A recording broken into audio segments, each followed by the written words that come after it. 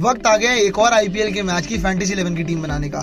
और अगला match royal Challengers Bangalore और केकेआर के बीच चिन्ना स्वामी स्टेडियम में खेला जाएगा। और इस वीडियो में हम बात करते हैं फैंटेसी इलेवन की टीम की। सबसे पहले डिस्कस कर लेते हैं दोनों ही टीम्स के प्रोबेबल प्लेइंग इलेवन आरसीबी की बात करें तो पहले आते हैं Virat Kohli Faf du Plessis Mahipal Lomror Glenn Maxwell Shahbaz Ahmed Dinesh Karthik Suyash Prabhu Desai David Willey Wanindu Hasaranga Mohammed Siraj Harshal Patel अब जरा बात कर लेते केकेआर की। तो पहले आते हैं wicket keeper Narayan Jagadeesan Jason Roy कप्तान Nitish Rana Andre Russell, Rinku Singh, Sunil Narine, David Wiese, Shardul Thakur, Suyash Sharma, Umesh Yadav, Varun Chakravarthy.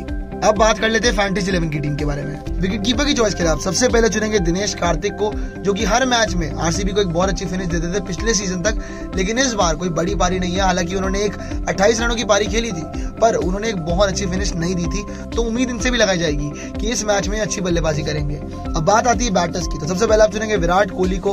हालाँकि पिछले मैच में वो गोल्डन डक हुए थे ट्रेंड बोल्ट के अगेंस्ट पर ये हम सब जानते हैं कि विराट कोहली कितने बड़े बल्लेबाज हैं, और इस सीज़न में ऐसा लग रहा है कि वो उनका बल्लेबाजी का फ्लो वापस आ रहा है। फिर आप चुन सकते हैं फैफ डू प्लेसेस को, जिन्होंने पिछले मैच में भी एक कमाल की पारी खेली थी। उन्होंने अपनी पिछली इनिंग्स में बासठ रन बनाए थे और काफ़ी छक्के चौके लगाए थे। फिर आप चुन सकते हैं वेंकटेश अय्यर को। उन्होंने इस सीज़न में एक सेंचुरी भी लगा दी है और वेंकटेश अय्यर के क्यार के लिए एक बहुत इंपॉर्टेंट प्लेयर है। फिर आते हैं आपके लॉर्ड रिंकू, जिन्होंने पिछले मैच में तिरपन रन बनाए थे, एक शतक जड़ा था और हर मैच में धीरे धीरे इनकी बैटिंग बहुत इंप्रूव होती जा रही है। फिर बात आती है ऑलराउंडर्स की। तो सबसे पहले आप चुनेंगे ग्लेन मैक्सवेल को, जिन्होंने पिछले मैच में सतहत्तर रनों की कमाल की पारी खेली थी और अपनी टीम को उस मैच में वापसी कराई थी विराट कोहली की विकेट जाने के बाद।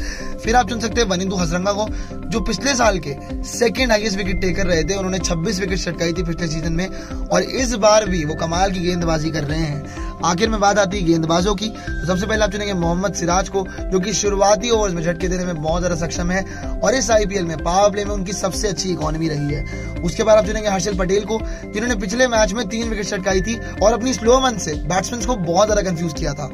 फिर आप चुनेंगे उमेश यादव को, जो कि शुरुआती ओवर्स में बहुत ज़्यादा झटके देते हैं और उनकी स्विंग गेंदबाजी बहुत अच्छी होती है। और आखिर में आप चुनेंगे वरुण चक्रवर्ती को, जो कि इस टीम के लिए बहुत अच्छे स्पिनर है और सुनील नारायण के साथ ये स्पिन गेंदबाजी की कमान संभालेंगे। आखिर में बात आती है कैप्टन की और वाइस कैप्टन की। कैप्टन के लिए आप चुन सकते हैं फैफ डुप्लेसिस को और वाइस कैप्टन के लिए आप अपनी टीम में चुन सकते हैं मोहम्मद सिराज को। तो ये थी हमारी फैंटेसी इलेवन की टीम हम ऐसे ही आपके लिए क्रिकेट से जुड़ी वीडियोस लाते रहेंगे। तब तक के लिए हमारे चैनल को सब्सक्राइब कीजिए, इस वीडियो को लाइक कीजिए, इस वीडियो पे कॉमेंट कीजिए। धन्यवाद।